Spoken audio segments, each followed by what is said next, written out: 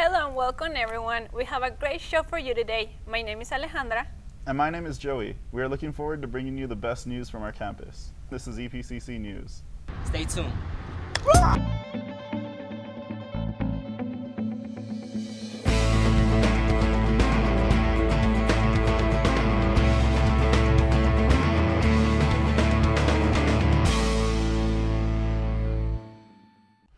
Looking to become more than just an everyday college student? Next up, we are going to show you how you can join the student leadership to help benefit you with your career and your future. Here's Erica Rubio with more. Hello everyone, my name is Erica Rubio and today's topic is student leadership in campus life.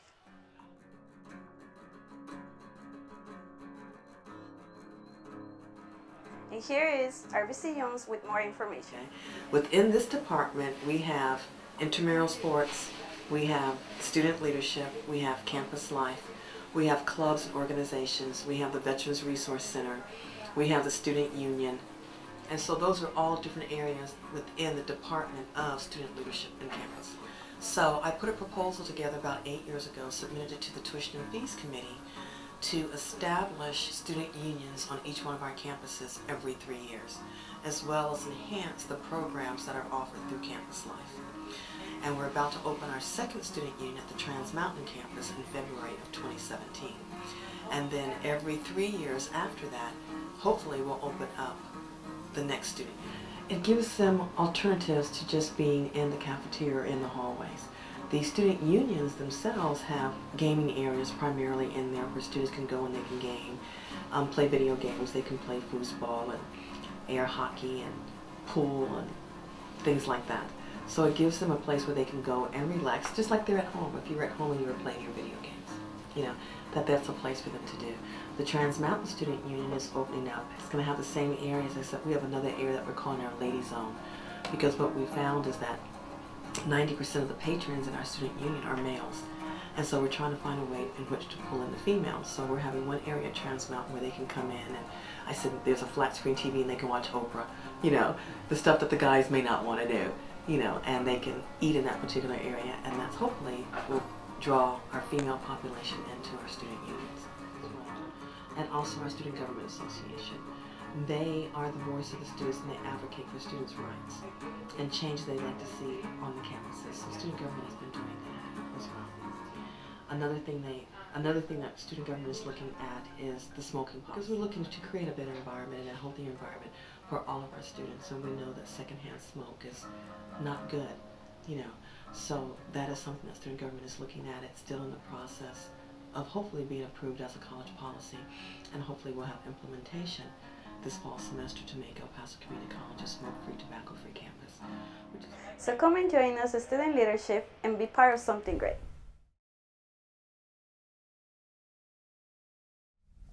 Become more than just a student. Become a student leader. Visit our student leadership website and fill out our application.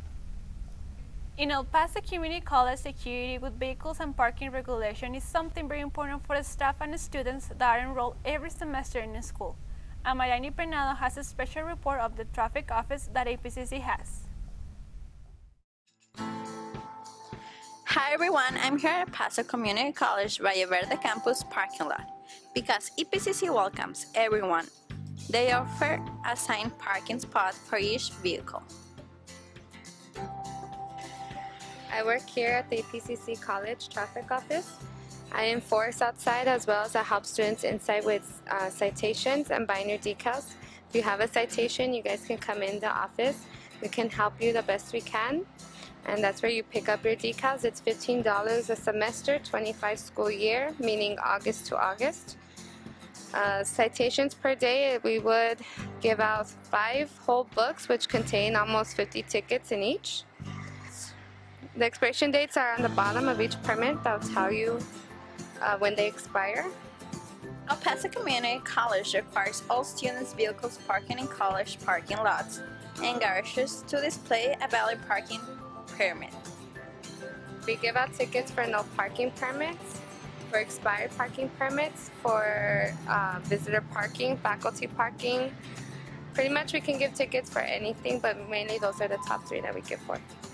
I fill out about almost 100 tickets a day during my time period of working. And then there might be another enforcer coming in the afternoon, so it depends on how much they'll do also. I mainly go to this side of the lots. I go to each parking lot and I'll give tickets there, and then other officers will go to different ones. So it just depends on the officer. The Traffic and Parking Regulations Office requires all students and staff to remove all expired EPCC parking permits. Use EPCC parking permits for vehicles registered with EPCC police only. Be considerate of others while driving and buckle up. Don't forget to follow the rules. Don't park in yellow or striped zones, fire lines, or reserved areas. Don't tape or improperly affix the parking permit. Don't issue disabled parking. Don't use a previous citation. And don't park in front of residential homes. The staff of EPCC Traffic and Parking Regulations, among why the EPCC Police Department welcomes all students, faculty, staff, and employees of vendors to El Paso Community College. It is their intention to promote safety, therefore, they provide these regulations concerning all vehicles driving and parked on any EPCC district. If you guys have any questions, we are located in the SSC building downstairs to help you guys with either your decals or your tickets. For EPCC TV, I am Amairani Peinado. Well, it seems that if we don't respect the regulations that EPCC has, we can have several consequences. Thank you so much, Amairani, for giving to us this important information. Today's segment is on the Dakota Access Pipeline and how we can stop it from expanding. The pipeline is 30 inches in diameter, and if not stopped, the pipeline could bust. We could work together and try to stop the pipeline from busting. Hi, I'm Andrea Valles, and I'm here at Escárate Park to talk about the Dakota Access Pipeline and what we can do to help solve the issue. The Dakota Access Pipeline is a 30-inch diameter pipeline that connects the rapidly expanding Bakken and Three Forks production areas in North Dakota to Patoka, Illinois. I'm here with Samantha. How are you doing today? Good, thank you. What can we do to help stop this issue from happening? I believe we can um, sign petitions for those who are not in agreement with the Dakota pipeline. That's what we can do to help stop the pipeline from actually being made. How can we get the people in North Dakota and Patoka, Illinois to safety? Right now, actually, there um, isn't a reason for them to feel unsafe, but if for any reason that they feel unsafe, we can definitely take some measures and precautions, and of course, the city can uh, and the community can definitely do some stuff that can put us in safety. I'm here with Beth Baeza. How are you doing, Ms. Baeza? I'm good, thanks for asking. Pipeline is expanding quickly. What can we do to help solve the issue? I think we should sit down with the tribe and discuss any solutions we could have. That way, in the future, we wouldn't have any differences. How can we make the oil from the pipeline not burst from the pipeline so it does not ruin any homes, farms, and etc.? We should build double wall pipelines to ensure the safety of the economy and the people who live in North Dakota.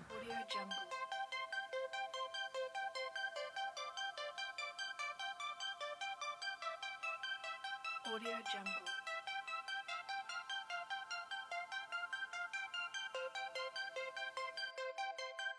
Audio Jungle. Thank you for your time. For E EPCC TV, I'm Andrea Valles. For more information on the Dakota Access Pipeline, visit daplpipelinefacts.com. What is the meaning of life? The following story isn't about philosophy but about biology and the EPCC club that is down to earth. If you have a curious mind, this is the club for you. Today I will be interviewing the advisor for the biology club. My name is Paul Hodgkin, and I'm the advisor of the Biology Club. Uh, I teach biology here at Valle Verde, and what the Biology Club is, is it's a group of students that they all have in common an interest in biology.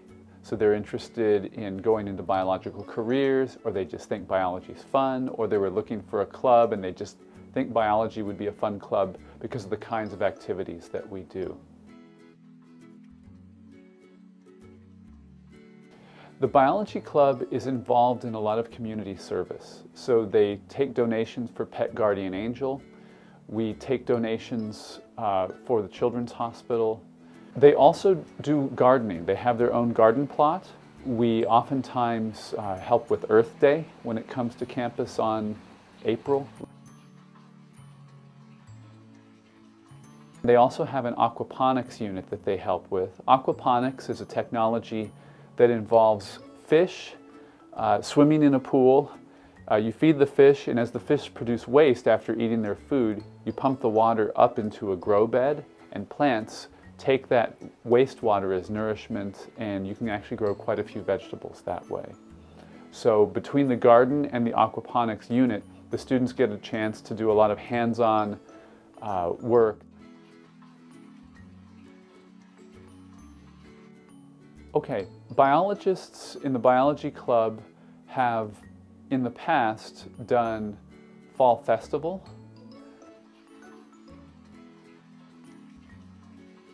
They have taken trips, so they go on hikes. Uh, two or three times a year we do hikes. And they pretty much on a weekly basis meet in the Valle Verde garden and they garden, they work with uh, things that are down in the garden, but they also have their meetings where they take minutes and they vote and they decide what they're going to do. The two aquaponic systems are located at the Valle Verde Amphitheater Garden, which the Biology Club takes care of.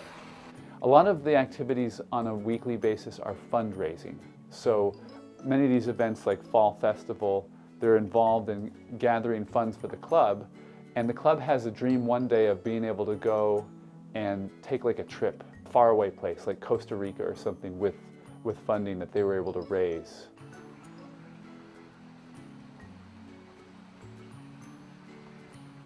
The kinds of events that the Biology Club have been involved in that were really hits are hikes, the gardening. I think we're the only club that has a a garden plot, and Earth Day, when we give away plants, we give away information.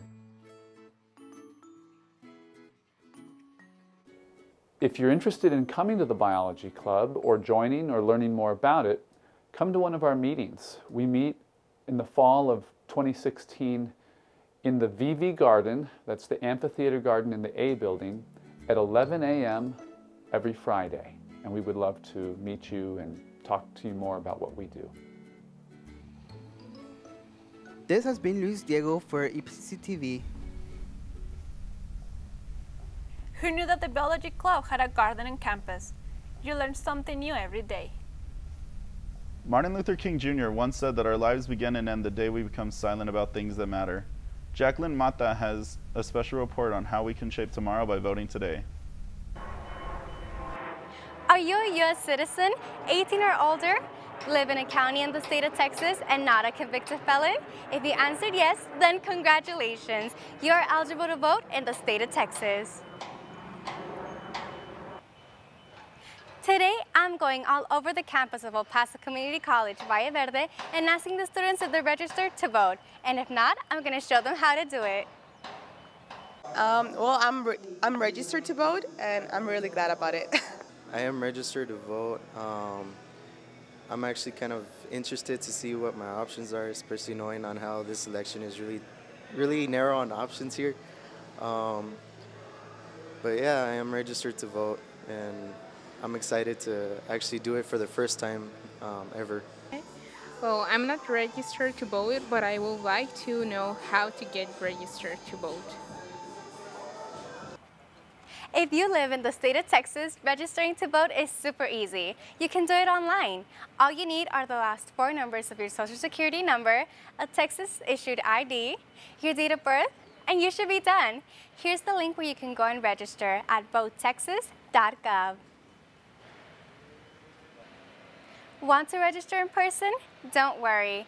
Voter registration applications are available at all U.S. Post Office, public libraries, Texas Health and Human Services Commission, and any local high school.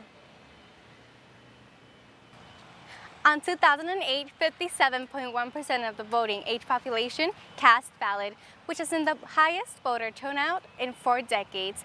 Yet there were still 6 million Americans who weren't registered to vote. I hope you all understand that you have the power to shape our country's course. People will be elected to take our values and opinions to turn them into laws, and we get to hire them. So don't take that for granted. All elections are important. Local elections, primary elections, midterm elections, presidential elections. Don't forget to register and vote for every single election. For EPCC TV, I'm Jacqueline Mata. A free and fair election is not only about the freedom to vote, but the knowledge of how to cast a vote, but also about the participation process. Remember that your vote is your voice.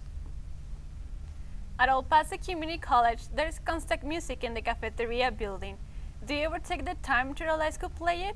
Well, your music and house come from EPCC Radio and they get the opportunity to talk to tons of local artists such as Hot Shot Kicks. Let's see what their music is about. EPCC, what is up? It's your girl, C Money. This is Pulse Radio, bringing the heartbeat to hit music. And I was Daily Ants, and I'm in the booth today I have Hot Shot Kicks. Say what's up, guys. How's it going? I'm Josh. I play guitar and bass for Hot Shot Kicks. And I am Juan Villalobos. so I also play guitar and bass. Uh, in addition, I also do lead vocals. I'm Daniel Paulus. I'm the drummer from Hot Shot Kicks, and occasionally I sing, but you just hear me bringing the beats.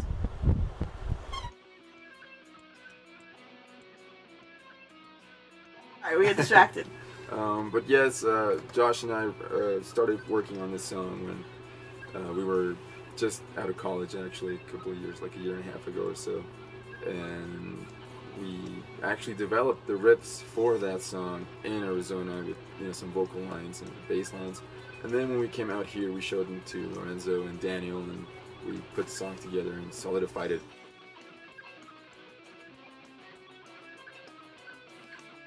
Each of you kind of picked a bit of other tracks for yourselves, right? So do they imitate your personalities, what you're into, or how does that? How did you guys decide to choose the artist that you chose? Well, for me, I came a lot from the uh, progressive rock, classic rock background from my dad, especially. Um, but all of us kind of take inspiration from a lot of different artists, a lot of different songs. Um, Lorenzo, who's not here right now, he picked some really cool um, songs. Uh, he's got a St. Vincent track. He's got a song from Twin Peaks uh, from the, the show, and that's coming up later too. Uh, but we all take inspiration from a lot of different genres, but all the same too. Like we all like progressive metal, we all like jazz, we all like electronic, we all like classic rock.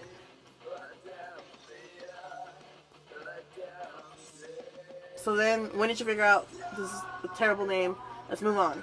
Or when did you decide to transition from that name to Hot Shot Kicks? Well, the, the first two flyers for shows that we played under the name Ignominious Dross. uh, Ignominious. ig- yeah, they, they, they spelled it wrong.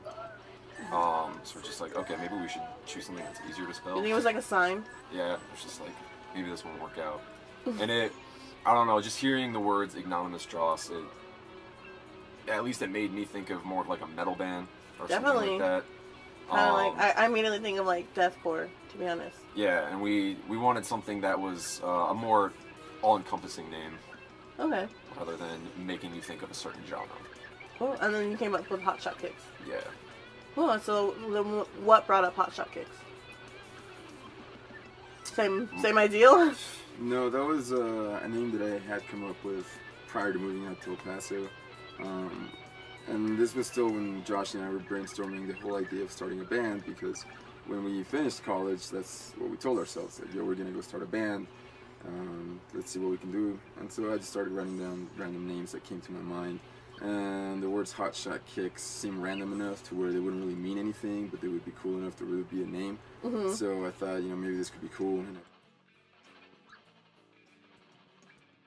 Um, we're playing the Heroes, Monsters, and Villains Rock Fest uh, on October 22nd.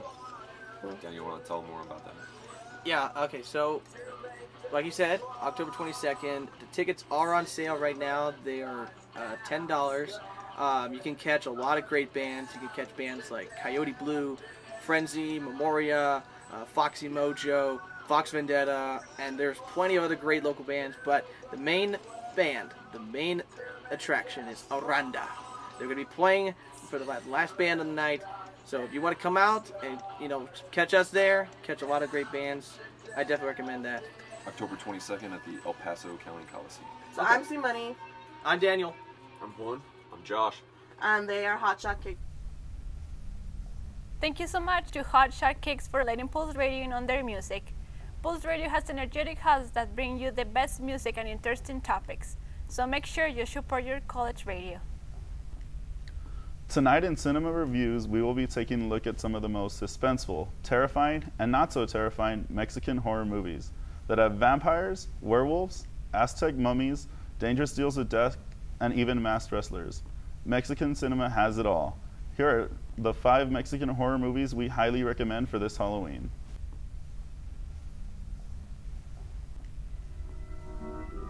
Good evening. Welcome to Cinema Reviews. Tonight, we'll take a look at some of the most suspenseful, terrifying, and not so terrifying Mexican horror movies of all time.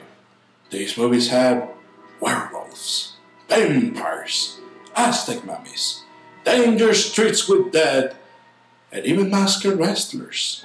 Mexican cinema has it all, and even more. Here's three Mexican horror movies I highly recommend. Macario. Even though it's not exactly a horror movie, it creates suspense in the same way as horror movies does. The movie is about Macario, a poor indigenous lumberjack that shares his meal with cheese and roasted turkey with a mysterious thin individual, that is, Dad himself.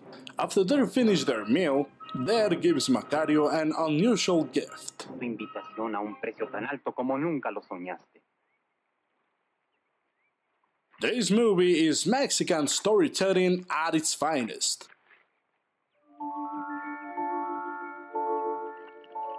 Esta agua, Macario, es capaz de curar cualquier enfermedad, siempre que yo no tenga una razón para oponerme a la salud del enfermo. Te la doy y piensa que ningún hombre ha sido dueño del poder que deposito en tus manos. Cuidado cómo lo uses. Great performances, marvelous cinematography, and of course, a story full of wisdom. As a fun fact, this was the first Mexican movie to be nominated for an Academy Award. And the fine five films nominated are from Mexico, Macario by Clasa Films Mundiales. Veneno para las Hadas. Now let's check a classy horror Mexican film. Poison from the Fairies was directed by Carlos Enrique Taboada, who is well known for giving nightmares to the Mexican audience with his horror anthology, which include films such as Hasta el viento tiene miedo, El libro de piedra, Más negro que la noche, and of course, Veneno para las hadas. The story of the movie is difficult to describe without getting any spoilers. The only thing that I can say about this movie is that has witches, magic, and mystery, with a great score, creative special effects, and an amazing ending. I highly recommend it. Cronos.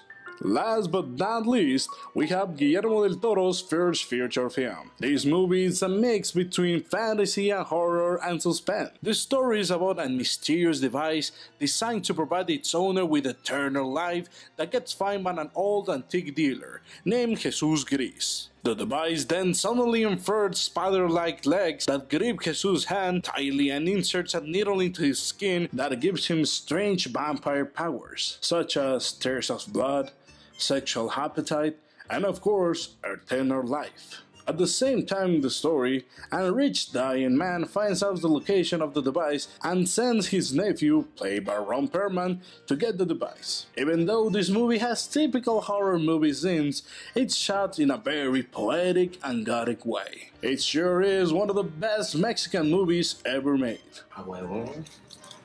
Because not everything in Halloween has to be serial killers with masks. Thank you for joining me for tonight's edition of Cinema Reviews. Hope to see you next week with more reviews, facts, and news. Thank you very much. I'm your host, Luis Gamboa. Not everything in Halloween has to be serial killers with masks. Thank you, Luis, for the special edition of Cinema Reviews. Thinking about getting the new iPhone 7? On this week's Tech Report, we take a look at all the new features and hardware to see if the new iPhone is worth upgrading.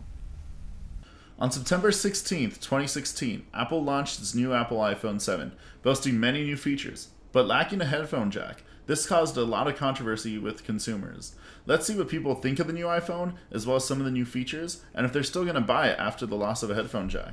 Hi, with EPCC News, I'm Joey. I'm here with Pedro Rubio. So, is the lack of a headphone jack a big issue for you on the iPhone on the iPhone 7? It is, but I consider it a worthy sacrifice. Like, I like the fact that I can use any headphones on the phone, like on the iPhone 6 that I have. Uh, and the iPhone 7, of course, you're limited to the Bluetooth buds or the headphones that are going to have the same entry as a charger. But with what I've seen, I'd say it's a it's an okay sacrifice. Okay. Is there any new features that you're excited for for the iPhone 7?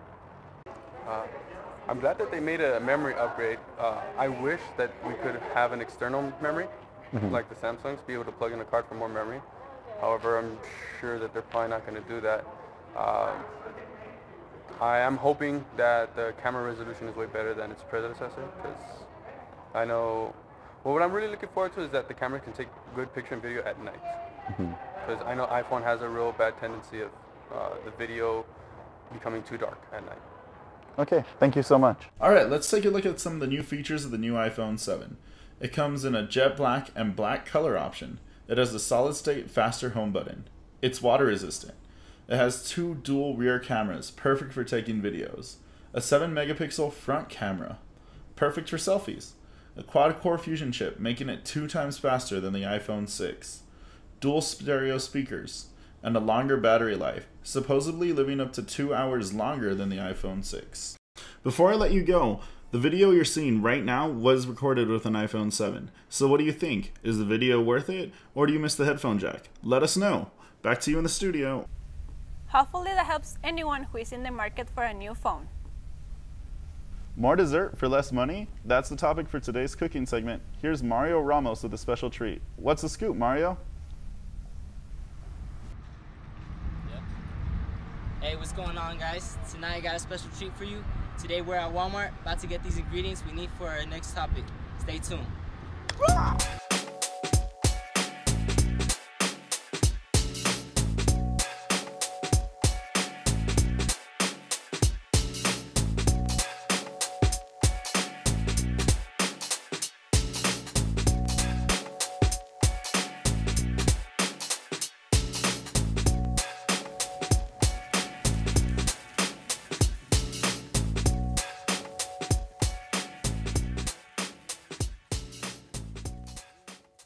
Welcome back, guys. Today we will be making banana splits. As you can see, we have all the ingredients we need for this. With that being said, let's get started. Before preparing any type of food, it's always important to wash your hands. Just as our hands, it's always important to wash out our food before we eat it. Begin to slice up your strawberries and your bananas.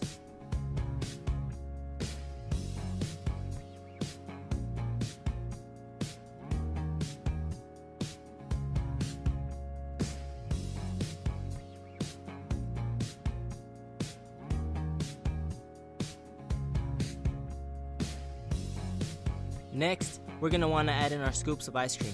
Remember guys, moderation is the key.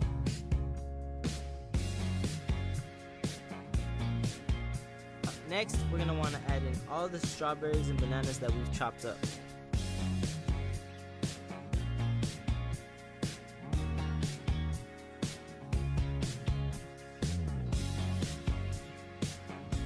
Now, top it off with your favorite syrup. For this purpose, I chose strawberry. Now that's a story I can really sink my teeth into. What a great and affordable treat to create with friends and family. Looks like I know what I'm going to make this weekend. I hope you guys enjoyed the show today. I'm Alejandra. And I'm Joey. Till next time, this is EPCC News.